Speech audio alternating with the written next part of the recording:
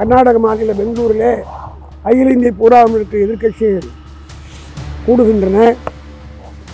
இவருடைய கவனத்தை திசை திருப்புவதற்காக இன்றைக்கு பொன்முடியினுடைய வீட்டிலே அதிலும் அமைச்சராக இருக்கிற அவர் வீட்டிலே செய்கிறார்கள் என்றால் I miss legal adviser but nobody responded to my call இவ்வளவு ஆர்வமும் ஆவேசமும் காட்டுகிறவர்கள் ஒன்றை புரிந்து கொள்ள வேண்டும். இடி போட்ட எந்த வழக்கிலாவது குற்றம் நிரூபிக்கப்பட்டிருக்கிறதா? நூற்றுக்கு ரெண்டு பேர் கூட நிரூபிக்கப்பட்டிருக்கிறார் மோடி அவருடைய அரசு இது போன்ற நடவடிக்கை எடுத்தால் காஷ்மீரத்திலிருந்து கன்னியாகுமரி வரை கர்நாடக மாநிலத்திலே பிஜேபி என்ன ஏற்பட்டதோ அதே நிலை தான் ஏற்படுகிறது ஏற்பட போகிறது. இதையெல்லாம் காட்டி எங்களை மிரட்ட முடியாது. ஆனால் இன்னும் ஒரு ஐந்து மாதம் தான் இவருடைய ஆட்சி இருக்கிறது. ஆனால் we will pay them with the same coin இன்னொரு முறை மத்திய சர்க்காருடைய ஆட்சி இப்பொழுது கவுண்ட் டவுன் ஸ்டார்ட் ஆகிவிட்டது. பின்ன- பின்னடைவே ஏற்படலை. இங்கே ஏற்பட்டு பின் பின்னடைவு மத்திய சர்க்காருக்கு தான் ஏற்பட தப்பு தப்பு தப்பு தப்பு தப்பு. அதான் நீங்கள் புரிஞ்சுக்கிட்டு தப்பு.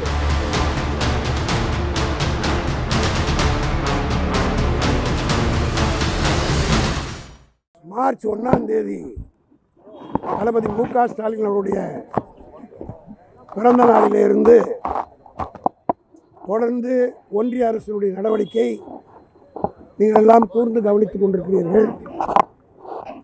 தளபதி மு க ஸ்டாலின் அவருடைய பிறந்த நாள் விழாவிலே கலந்து கொண்ட எதிர்க்கட்சி தலைவர்கள் எல்லாம் ஒன்று கூடிய அந்த கூட்டத்திலே தன்னுடைய பிறந்தநாள் செய்தியாக எங்கள் தலைவர் தளபதி மு க ஸ்டாலின் அவர்கள் ஒரு முழக்கத்தை எழுப்பினார்கள்.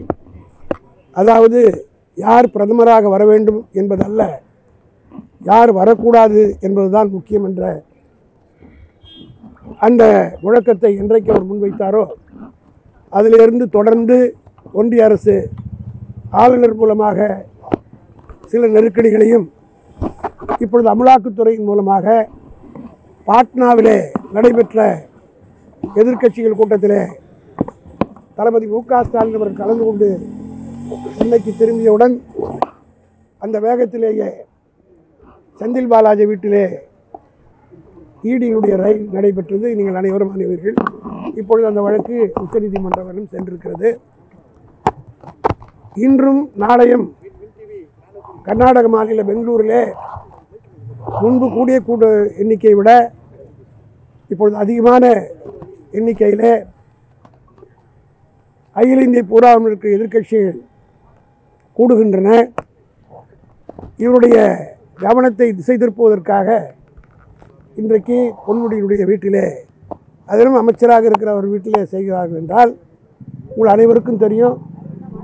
இப்பொழுது அவர் மீது அதற்காகத்தான் நான் வந்தேன். எதற்காக இங்கே ஈடி வந்திருக்கிறார்கள்? எந்த வழக்குக்காக என்று கூட அவர்களிடத்தில் சொன்னார்களா என்பது எனக்கு தெரியாது. ஆனால் அதை தெரிந்து கொள்கிற உரிமை அவருடைய வக்கீல் என்கிற முறை எனக்கு இருக்கு உரிமை இருக்கிறது. I miss legal adviser but nobody responded to my call நான் வந்து இங்கே பார்க்க வேண்டும் என்று நானும் எங்களுடைய வழக்கறிஞர் கேட்டபோது அட்லீஸ்ட் என்னையாவது விடுங்கன்னு கேட்டபோது நீங்களாம் பார்த்தீங்க. வாஸ் நாட் பர்மிட்டட் அதனால் இன்றைக்கு அவர் மீது போடப்பட்டிருக்கிற அவர் இங்கே ரைடு நடத்தியிருக்கிறது ரெண்டாயிரத்தி ஆறிலிருந்து ரெண்டாயிரத்தி பதினொன்று வரை அமைச்சராக இருந்த நேரத்திலே அவர் செய்ததாக சொல்லப்படுது. ரெண்டாயிரத்தி ஆறுக்கும் ரெண்டாயிரத்தி இருபத்தி மூணுக்கு எத்தனை வருஷம் இருக்குதுன்னு உங்களுக்குலாம் தெரியும். ஏறத்தாழ பன்னெண்டு வருஷம் ஆயிடுச்சு.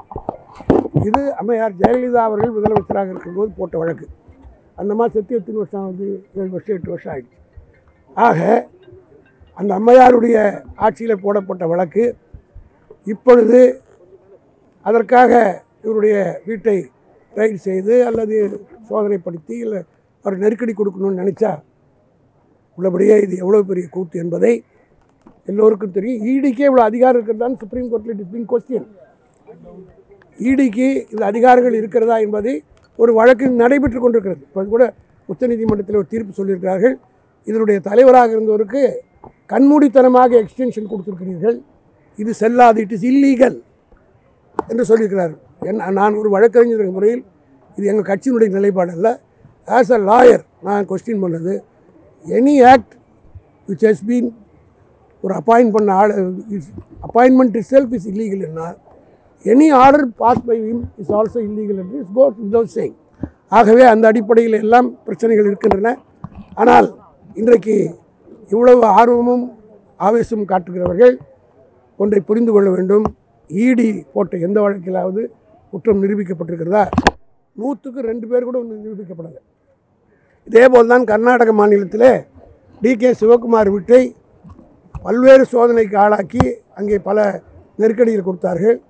இந்தியாவிலே அதிகமான ஓட்டு வாங்கி ஒரு லட்சத்தி ஒம்பதாயிரம் ஓட்டு வித்தியாசத்தில் டி கே சிவகுமார் கர்நாடக தேர்தலில் சட்டமன்றத்தில் ஜெயிச்சிருக்கிறார்.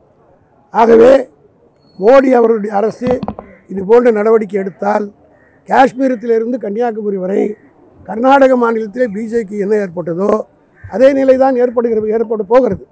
திமுகவை பொறுத்த மட்டிலும் இப்பொழுது கூட எங்கள் தலைவர் விமான நிலையத்தில் பேட்டி கொடுத்தார். நாங்கள் இதற்கெல்லாம் அஞ்சுபவர்கள் அல்ல. பொன்முடியை பொறுத்த மட்டும் பல முறை போராட்டங்களில் கலந்து கொண்டு சிறைச்சாலைக்கு வந்தோம் ஒரு வார்த்தை பேசினார் இவருக்கார் ஒரு டெஃபமேஷன் என்று சொல்லி அவருக்கு உள்ளே வச்சு எம் ஜெயலலிதா ஆட்சி காலத்தில் சித்திரவதை அத்தனையும் தாங்கி கொண்டு தான் இருக்கிறார். நாங்களாம் மிஸ்ஸாவே பார்த்தோம். நான் மிஸ்ஸாவில் உள்ளே போனவன். எங்கள் தலைவர் தளபதி மிஸ்ஸாவில் போனவர். ஆகவே இதையெல்லாம் காட்டி எங்களை மிரட்ட முடியாது. ஆனால் இன்னும் ஒரு ஐந்து மாதம் தான் இவருடைய ஆட்சி இருக்கிறது. ஆனால் we will pay them with the same coin இன்னொரு முறை மத்திய சர்க்காருடைய ஆட்சி இப்பொழுது கவுண்ட் டவுன் ஸ்டார்ட் ஆகிவிட்டது. இப்போவே ஒரு இப்போ நான் வருகிற போது கூட அக்னி நியூஸ் ஏஜென்சி என்ற சர்வே ஒருத்தர் சொன்னார். காஷ்மீரத்திலேருந்து கன்னியாகுமரி வரை பிஜேபிக்கு நூற்றி நாற்பதுலேருந்து நூற்றி அறுபது சீட்டு மேல் வருவதற்கு வாய்ப்பில்லை என்று சொல்கிறார்.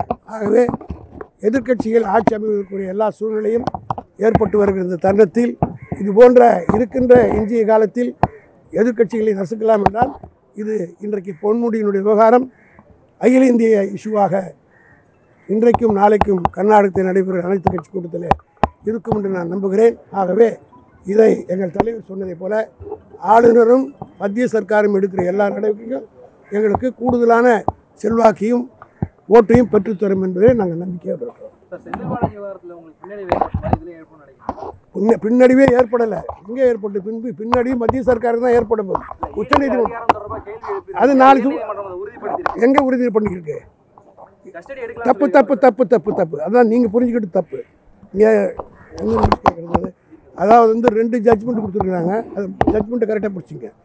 தேர்ட் ஜட்ஜு திருப்பி அனுப்பியிருக்கிறார். இட்ஸ் நாட் ஃபைனல் சுப்ரீம் கோர்ட்டில் நடக்க போகுது. அதே மாதிரி தான் ஒன்று சொல்கிறேன் ஜெயலலிதா டான்சி கேஸ் என்னாச்சு? சென்னை ஹைகோர்ட் விடுதலை பண்ணுச்சு நான் தான் உச்சநீதிமன்றத்துக்கு அப்பீல் போனேன். அங்கே அந்த மாதிரி திருப்பி கொடுத்துட்டு தப்பிச்சு வரலையா? சுப்ரீம் கோர்ட்டு சுப்ரீம் அத்தாரிட்டி தப்பு letter wait and. Minnambalam dot com தமிழின் முதல் மொபைல் பத்திரிகை.